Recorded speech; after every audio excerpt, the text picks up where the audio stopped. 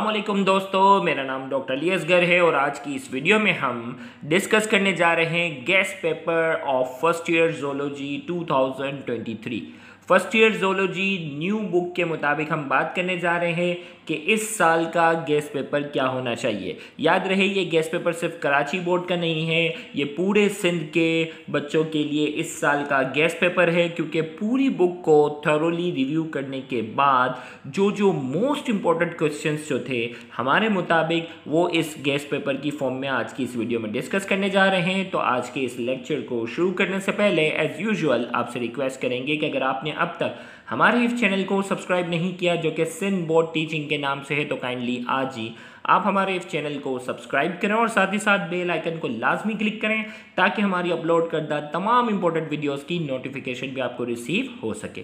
तो आइए हम स्टार्ट करते हैं। Guess paper of first year zoology for 2023 तो न्यू बुक के मुताबिक फ़र्स्ट ईयर जोलॉजी 2023 का गेस्ट पेपर क्या होना चाहिए? याद रखिएगा कि 2023 के मॉडल पेपर के मुताबिक आपका जो जोलॉजी का पेपर है वो 40 नंबर का है। इसमें सेक्शन ए के अंदर आपके पास मल्टीपल चॉइस क्वेश्चंस होंगे, जिनकी तादाद जो होगी वो 16 होगी 16 सौ होंगे, जिसके नंबर होंगे एट और आपने तमाम के तमाम एम को जो है वो क्या करने हैं अटेम्प्ट करने हैं। याद रखिएगा एम पर हम एक अलग से वीडियो बनाएँगे जिसमें मोस्ट इंपॉर्टेंट पॉइंट फॉर एम मोस्ट इंपॉर्टेंट पॉइंट जो एम के होंगे, उसमें हम तकरीबन 200-300 मोस्ट इंपॉर्टेंट पॉइंट्स बताएँगे और उन्हीं से हर साल जो है वो एमसीक्यू आ जाते हैं। तो पूरी बुक को रिव्यू करने के बाद मोस्ट इंपॉर्टेंट पॉइंट्स जो एम के डिस्कस करेंगे तो उसको भी आपने लाजमी देखना है। तो एमसीक्यू का सेक्शन आपका बसानी उससे कवर हो जाएगा।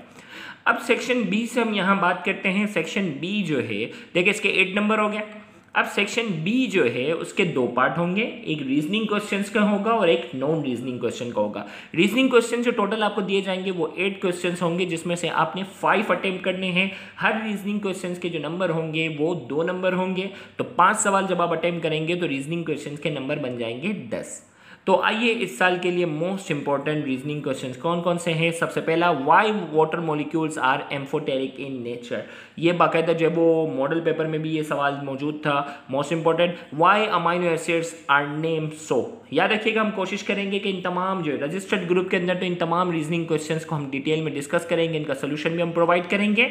Why fat provide more energy than carbohydrate fat जो है वो कार्बोहाइड्रेट के मुकाबले में ज़्यादा एनर्जी क्यों प्रोवाइड करता है? Why enzymes are specific in nature why enzymes are cold temperature sensitive, why enzymes activity is directly proportional to enzyme concentration, why sponge plays in animal kingdom?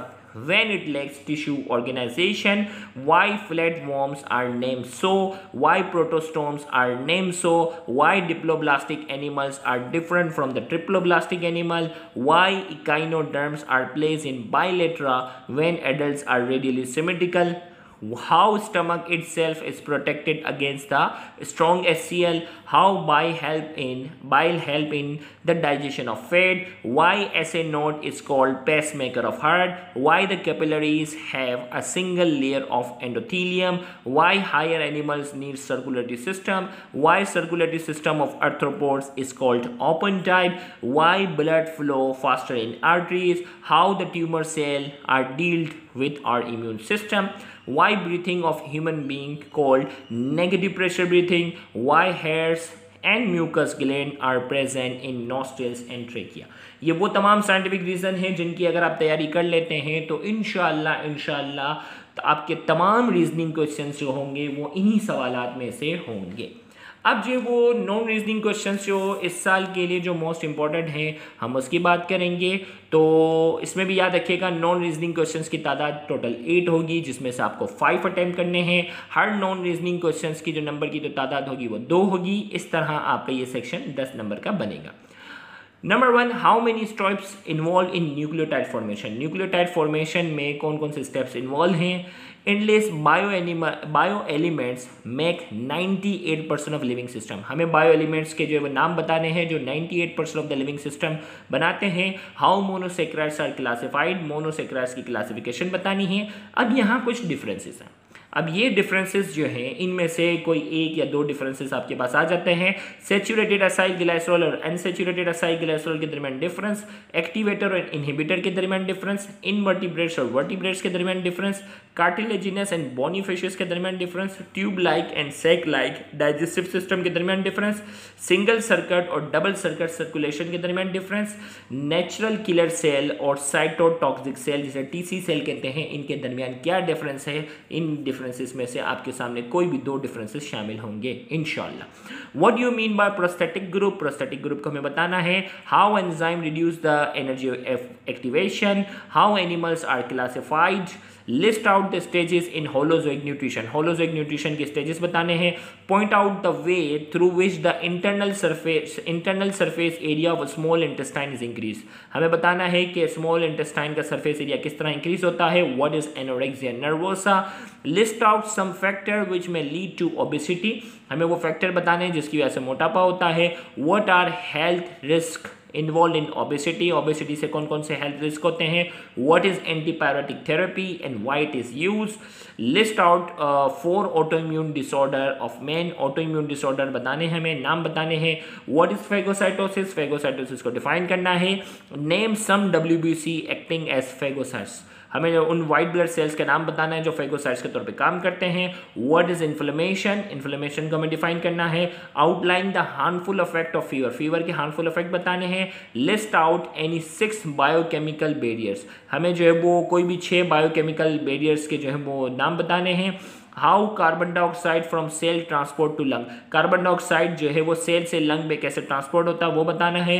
Which of the pigment is called respiratory pigment कौन सा pigment है जिसे respiratory pigment कहते हैं? Draw a flow chart for the passage of air from external nets to alveoli how exchange of gases occur at alveolar level ये तमाम non reasoning questions हैं जिनकी अगर आप तैयारी कर लेते हैं तो इनशाला इनशाला आपके तमाम क्वेश्चंस जो होंगे नॉन रीजनिंग वाले वो इन्हीं पोर्शन में से आएँगे। अब जो है वो इस साल के लिए जो है वो लॉन्ग क्वेश्चंस की अगर हम बात करेंगे तो डिटेल आंसर क्वेश्चंस की हम बात करेंगे। टोटल वैसे तो तीन दिए जाते हैं, लेकिन और करके इनकी तादाद होती है चार। चार में से आपको कितने अटैम्प्ट करने होते हैं? दो अटैम्प्ट करने होते हैं। एक सवाल का जो नंबर है वो छः है। इस तरह ये बन जाते हैं ट्वेल्व मार्क्स पहला सवाल, देखें, और वाला जो पोर्शन होगा ना, वो सेकेंड मोस्ट इंपॉर्टेंट होगा। फ़र्स्ट मोस्ट इंपॉर्टेंट के साथ जो नंबर लगा हुआ है, और करके ये है कि वो स्टूडेंट जो थोड़ा सेफ़ साइड रहना चाहते हैं तो वो और वाले सवाल भी याद करने की कोशिश करें। सबसे पहला है व्हाट इज़ रेस्पायरेशन रेस्पायरेशन क्या है? Describe human respiratory system human respiratory system को हमें क्या करना है? डिस्क्राइब करना है। और अगर ये सवाल नहीं आया इस चैप्टर से तो दूसरा सवाल क्या होगा? What is the mechanism of inspiration and expiration inspiration और एक्सपायरेशन का क्या करना है? मैकेनिज्म बताना है।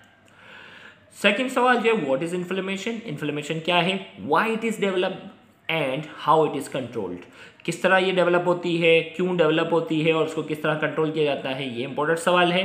और अगर ये सवाल नहीं आया तो और करके what do you understand by auto immune disorder auto immune disorder बताना है। Explain the role of T cell and B cell in transplant rejection transplant rejection में टी सेल और बी सेल का क्या रोल है, वो बताना है।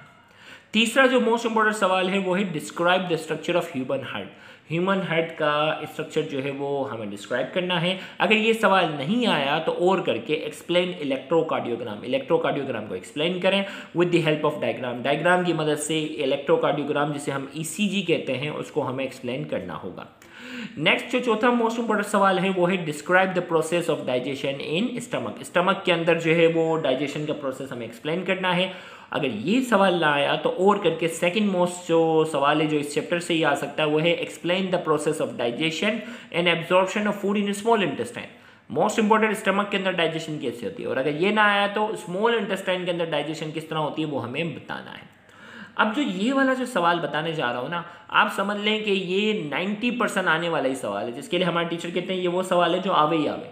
तो इसको आपने बड़ी जैन नशीन करना है। Write down the general characters and evolutionary adaptation of phylum Annelida Arthropoda और मोलुस्का किस, देखिए, ये तीनों ही फाइलम अगर आप टेन ईयर पूरी उठा के देखें ना, ये तीनों फाइलम ही घूम रही होती हैं।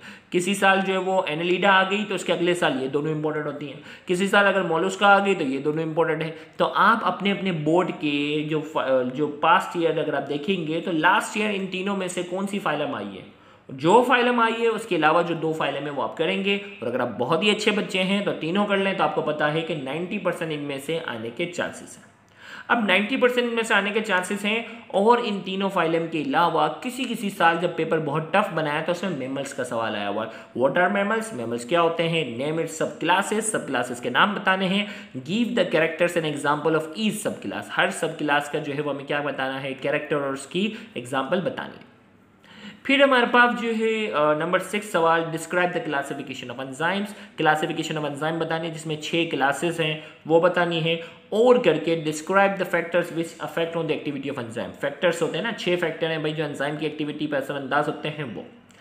नंबर सेवन क्वेश्चन जो इस साल के लिए important what are conjugated molecules conjugated molecules क्या है? Explain types of conjugated molecule conjugated molecules की जो टाइप्स हैं, चार टाइप्स हैं, उन चारों को एक्सप्लेन करना है।